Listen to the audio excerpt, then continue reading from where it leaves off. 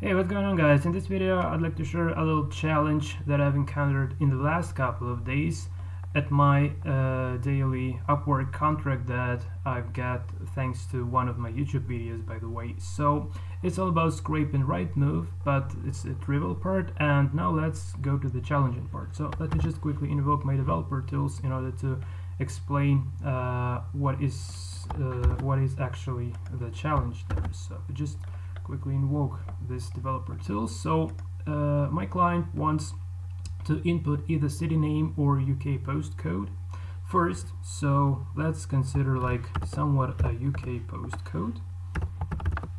And as you can see here in the network tab, uh, it brings some sort of uh, it brings uh, some sort, sort of, of response from the particular URL endpoint. And if we just have a look there here we have a list of uh, location identifiers and the corresponding basically city names that mm, are mapped to this Rightmove specific code. So uh, these kind of codes are Rightmove specific so it's probably the only place where one can encounter them ever but without this kind of codes, one uh, can't really uh, specify the URL dynamically to scrape data from. So this is really needed to create URL dynamically and then uh, just fetch the data from that URL just to scrape the data. So it's uh,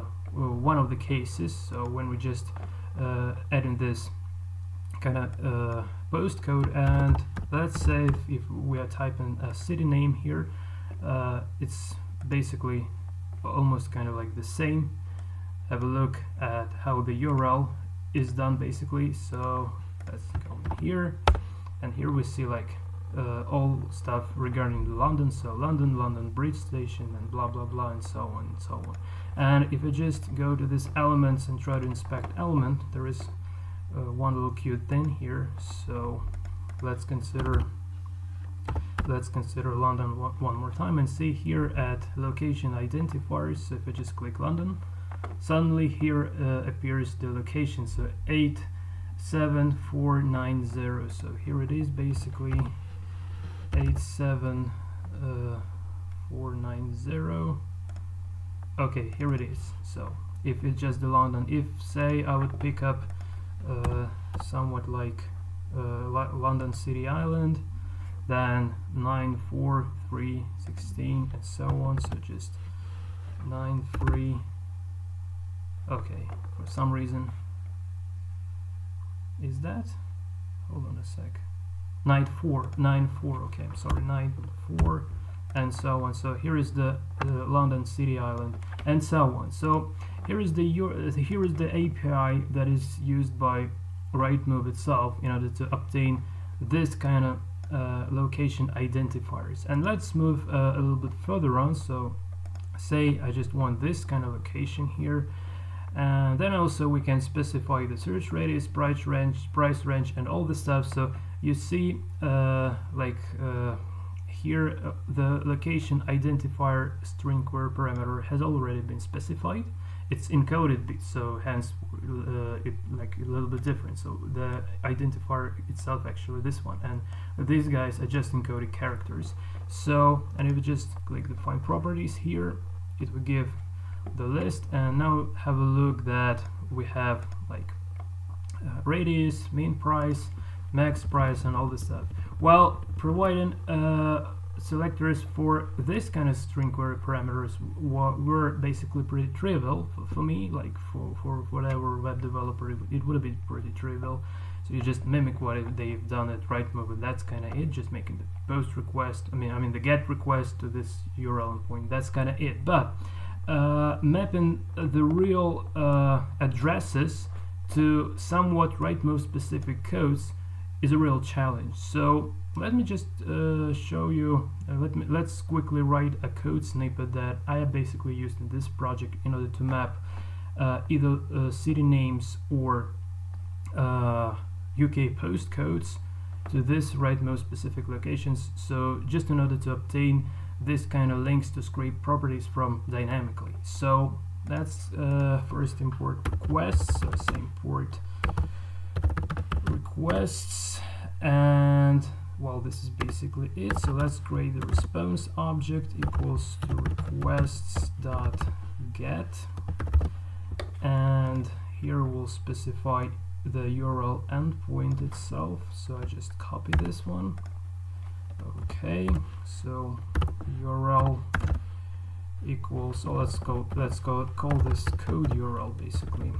So it equals this kind of stuff. And uh, well as far as this environment doesn't uh, allow us to have a user input so we just specify the postcode variable uh, to be well let, let's just specify this as uh, input so okay it's a keyword in python. Okay let, let's have a postcode. Okay postcode equals this one say cr06ty and let's also specify the city. Uh, let's say this would be uh, London okay. And okay sorry for this. So now we now actually before ever proceeding here we need uh, to loop well either well okay just let's just have a post let's mm, okay.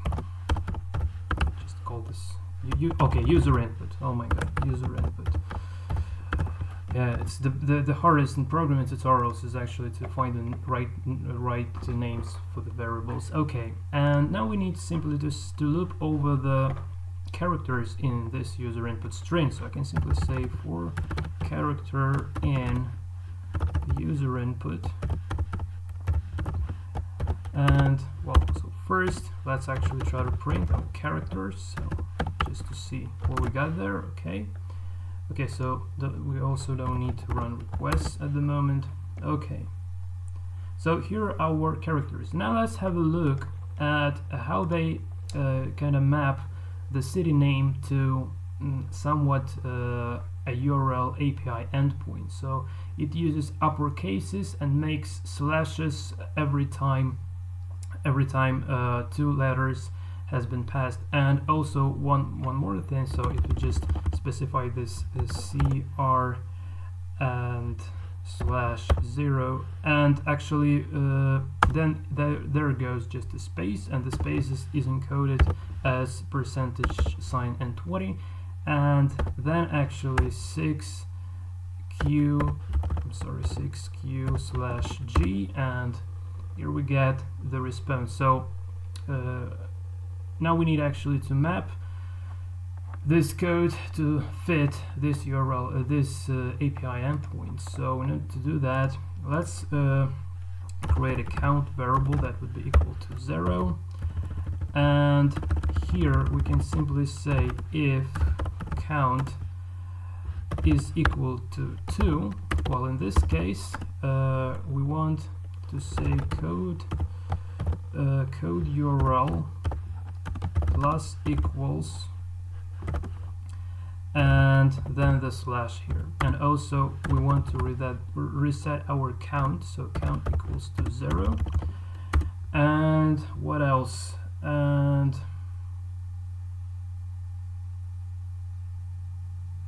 let's actually try to print print our code URL here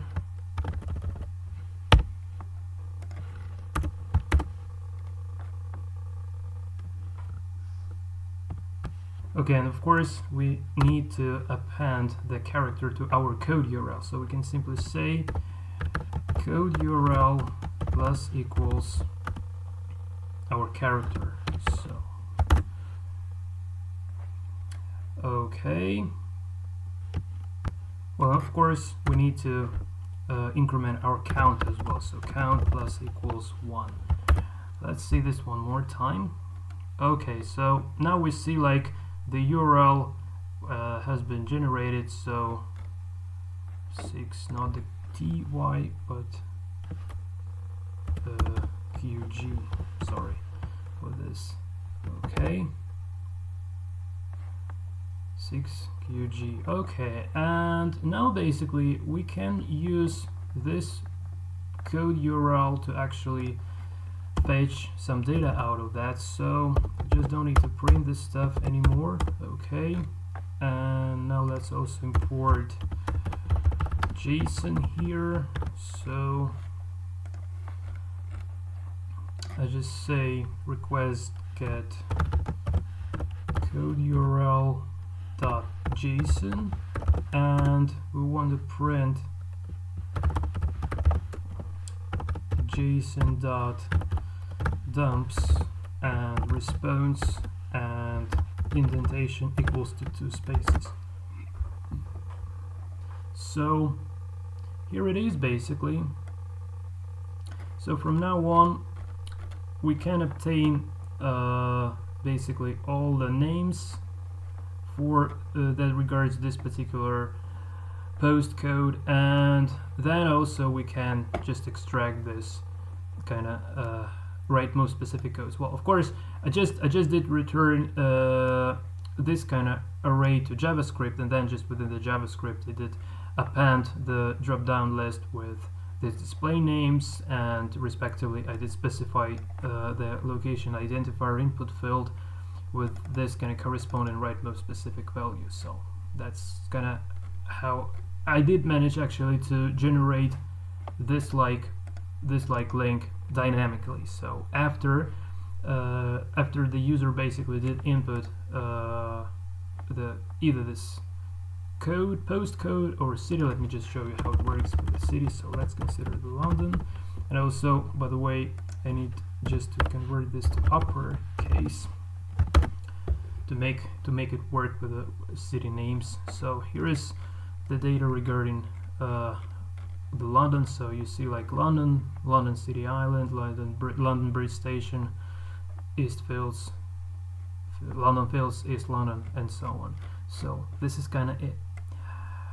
Well, okay guys, I no idea whether, whether it was actually interesting for you or not, but I just wanted to show you this little picture of me uh, working hard on my project basically. So, you know, like it seems really easy now, but the last two days I spent for mostly for researching how to actually implement this this stuff and if this is actually possible or not. So I wasn't really quite pretty sure and, until until now basically. So well, I hope at least you had fun during watching this video. So until next time, and take care.